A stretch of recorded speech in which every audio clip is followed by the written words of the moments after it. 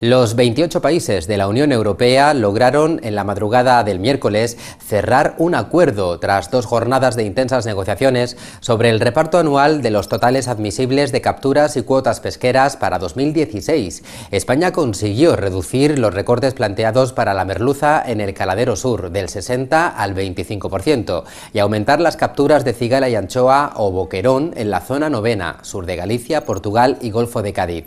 La segunda propuesta de compromiso de la presidencia luxemburguesa de turno de la Unión Europea, presentada en la tarde del martes, logró finalmente el respaldo de los Estados miembros.